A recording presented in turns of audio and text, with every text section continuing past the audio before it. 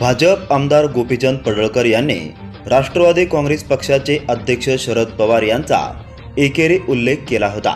यावरून राष्ट्रवादी काँग्रेस पक्षाचे नेते गोपीचंद पडळकर यांच्यावर भडकले आहे. याच पार्श्वभूमीवर राष्ट्रवादीचे आमदार निलेश लंके यांनी पडळकर यांना थेट इशारा दिला आहे. आपली उंची किती आहे? आपण बोलतो किती? अशा खोचक शब्दात निलेश लंके यांनी गोपीचंद पडळकर यांच्यावर टीकासळ चालवलं आहे.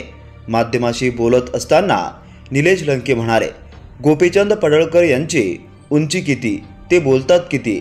शरद पवार राज्याला मिळालेला एक हिरा आहे. महाराष्ट्रामध्ये घडणाऱ्या प्रत्येक गोष्टीत शरद पवार आहे. त्यांच्यामुळे महाराष्ट्रामध्ये अनेक विकास कामे मार्गी लागली आहे. पुढे बोलताना ते म्हणाले शरद पवार यांनी आम्हाला उत्तम शिकवणूक दिली आहे.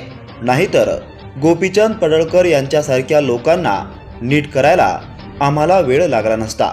दरम्यान गोपीचंद पडळकर यांनी शरद पवार यांच्यावर जहरी टीका केली होती. शरद पवारांचा एकेरी उल्लेख करत गोपीचंद पडळकर यांनी अरे तुयेची भाषा वापरली होती.